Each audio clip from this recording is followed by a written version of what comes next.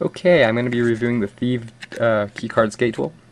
It's about $15 uh, anywhere you want to buy it, and it comes with a leather case and the skate tool itself. Um, the skate tool is made out of titanium, the case is made out of real leather, it's not vinyl or anything. The case is pretty nice, the tool is like manufactured pretty nicely, it just does not work as uh, a skate tool, so let's get it out of here. Let's get it out of the case. Alright, this is the tool itself. Um, it's made out of 6-4 titanium, I guess. Is what. I think that's probably the ratio to other alloys. I don't think it's 100% titanium. Um, it has the cool little bandit logo cut out into it, like cut out of it.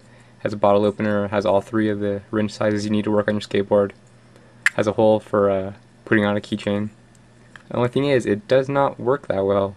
Um, the it fits in all the nuts. The it's not a problem. It's not. It's really durable. It's not going to bend. It's made of titanium. It's really strong. The thing is, it's super thin, so using it is really painful. Um, I don't even have that soft of hands, and it. I just could barely even stand to use it to loosen my uh, kingpin on my trucks.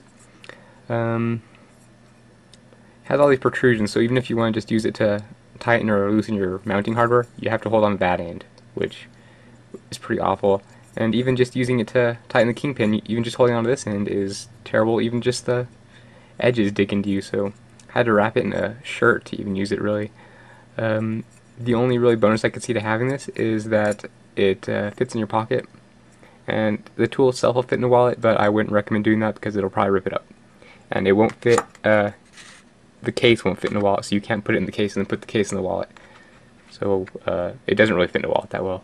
Um, it could fit in your pocket. It's really light. You could keep it in like the glove box of your car or in a backpack, and if you absolutely needed to tighten something, I guess you could probably do it. Uh, it's not worth fifteen dollars. Uh, I wouldn't pay fifteen dollars for this. I got it for free with some trucks, and uh, for fifteen dollars you could buy just about any skate tool on the market, and just about any skate tool on the market is going to be better than this, like for usability and stuff. So I'm gonna have to say pass on this one, unless you're getting it for free, which if you get it for free, then at least it looks cool. So uh, that's the end of this review.